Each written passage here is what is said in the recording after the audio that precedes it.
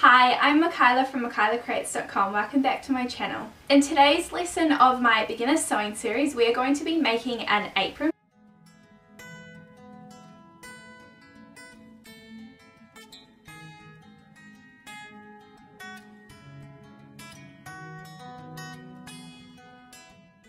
I have picked up uh, two meters of uh, two contrasting fabrics because uh, this apron will be reversible. So I really wanted my fabrics to kind of work together but be a little bit different. So I've gone for a pink check here and a pink and white stripe um, which I think look really nice. They're both cottons as well so I would definitely recommend sticking to cotton um, for this project. I do have a PDF pattern available on my website for this. I will leave the link in the description box below if you want to download that. If you have just joined us in this lesson of the beginner sewing series and you are just wanting to make the apron no worries but if you do want want to jump into the rest of the beginner sewing series, it's here on my YouTube channel for free. You can find the link in the description box below. So once you have printed out the PDF pattern on my website, you'll just want to grab your fabric. So I'm going to cut out both of my layers together, um, but you could cut these out separately if you don't feel comfortable doing that.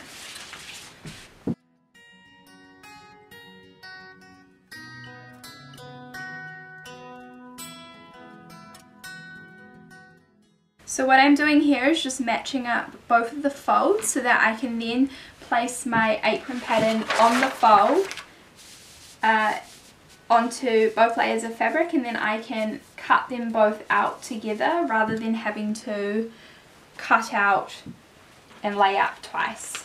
That's just a little bit of a tip for you. Um, and then I'm just going to pop in some pins all the way around my apron to hold the fabric in place then I can just cut around with my fabric scissors.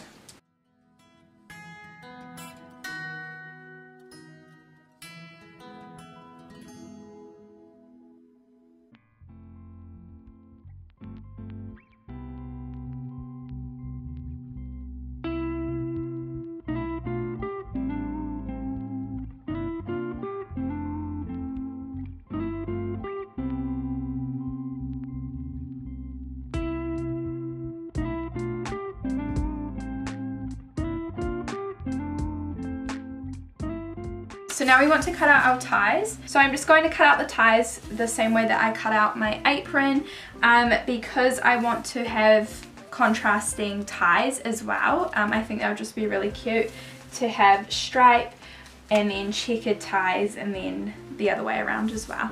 So just make sure that if you are cutting out the same fabric that um, you cut out uh, two pairs of each of these ties.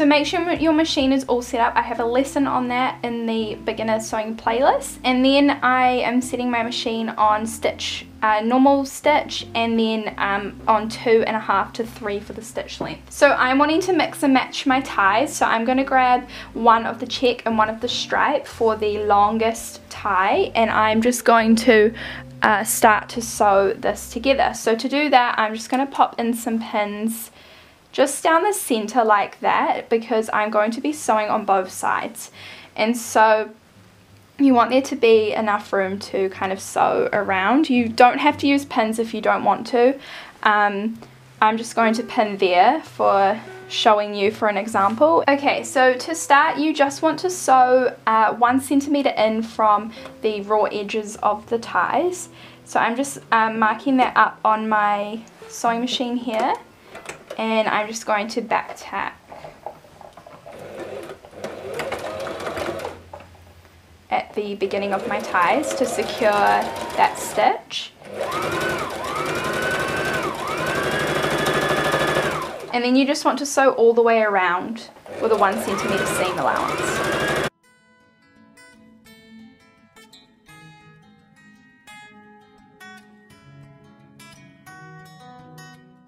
When you get to the end here, you just want to do a pivot and keep sewing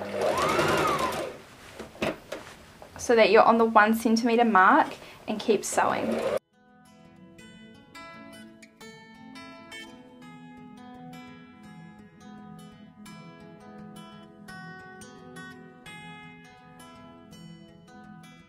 Now coming to the end of our tie, we just want to back tack couple of times and then make sure that your needle is up and lift up your foot pedal. You can see the areas where we have just pivoted, so I'm just going to cut off the corners um, to help that turn through a lot nicer. Now for this step, you could grab a sewing uh, needle or something long that you can poke through um, to turn this through to the right side. So now you just want to grab the end that we have closed up and pop in something that you can turn it through with. So I'm just going to use this not sharp end of my uh, sewing needle because I don't want it to poke through the fabric. Um, and then just start to push it all the way through to the open end. Now you just want to grab your iron and start to press the straps down because at the moment they are a little bit puffy so it's really nice to get them looking crisp and flat by giving them a really good press with your iron. Now you just want to continue sewing all of your ties until you have four. You will have two long ties and two shorter ties which are to go around the neck. The long ties are to go around your waist.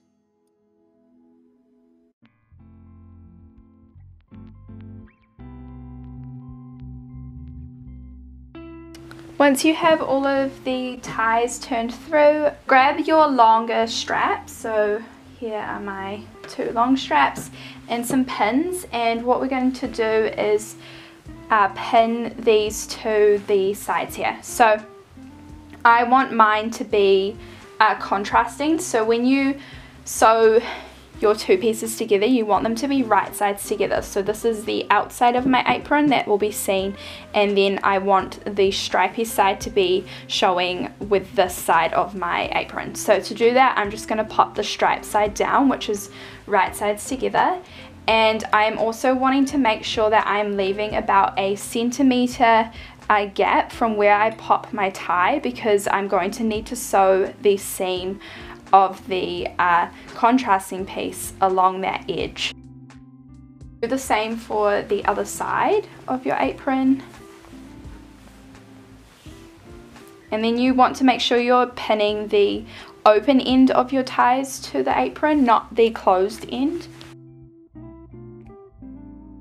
And then at the top of the apron, uh, you want to do the same thing. So grabbing your short ties now.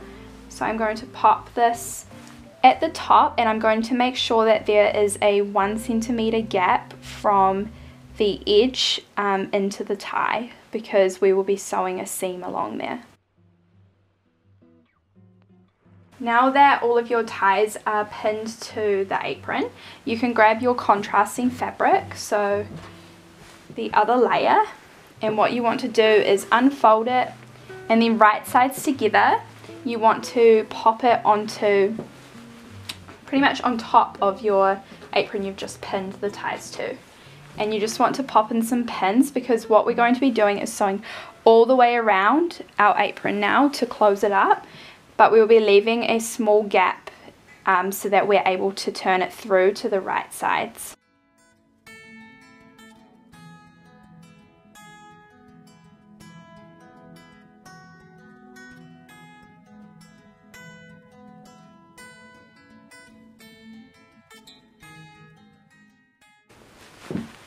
So now we want to close up our apron. So I'm going to start sewing from this edge and the seam allowance is one centimeter as it was around the ties.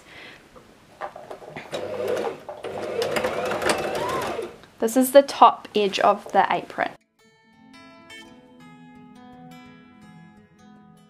So when you get to the end here, you want to make sure that you're able to pivot and there is uh, a one centimeter seam allowance still. And then you want to continue sewing along this curved edge.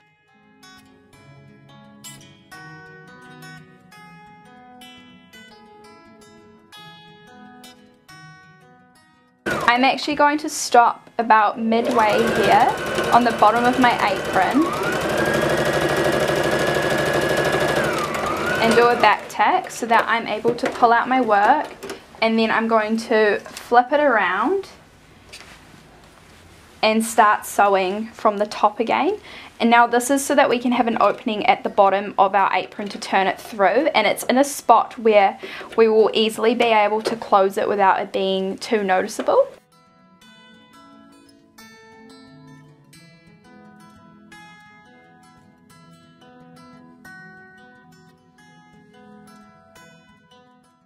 Once you get about 10 centimeters from the other back tack at the bottom of the apron, back tack again and take your work out of the sewing machine. This will be the opening that we're going to turn our apron through in the next step.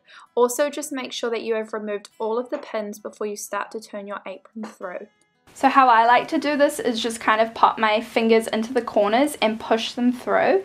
You could cut the corners off, but I'm not going to today.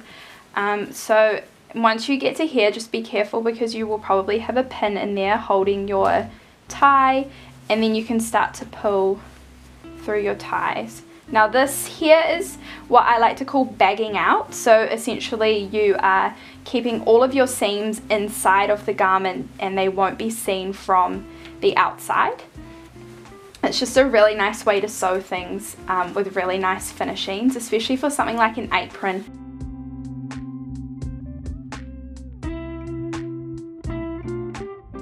As you can see, we've got a really nice finish there on the edges of the apron because we took the time to uh, line up where our ties were going. So to close up the hole at the bottom, I just like to fold down one centimeter on both sides and then hold it in place. And I'm just going to grab the iron and just give it a nice press in place and then we can sew that down on the sewing machine. So I'm just going to pop in some pins so I remember. Then you just want to edge stitch along the bottom opening of your apron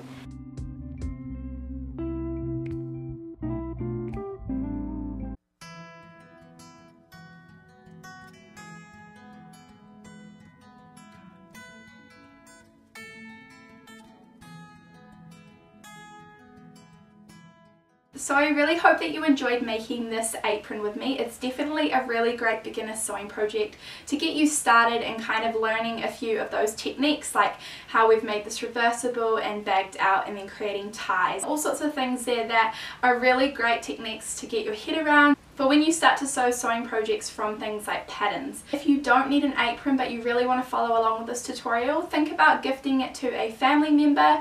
It would make a really great gift in a little gift basket with some cooking utensils and maybe some yummy little treats as well. People really appreciate thoughtful gifts like that. If you did really enjoy this episode of my beginner sewing series, please don't forget to give it a thumbs up and subscribe to my channel so that you don't miss the next episodes of this beginner sewing series. We will be starting to learn how to sew ruffles, which I'm really excited about. If you haven't already noticed, I have a lot of gathering and frills and just really pretty details in a lot of my projects and my sewing patterns as well, which you can find in the description box below. Thank you so much for watching and I hope that you really enjoy making yourself a reversible apron and I will see you in the next episode of my beginner sewing series.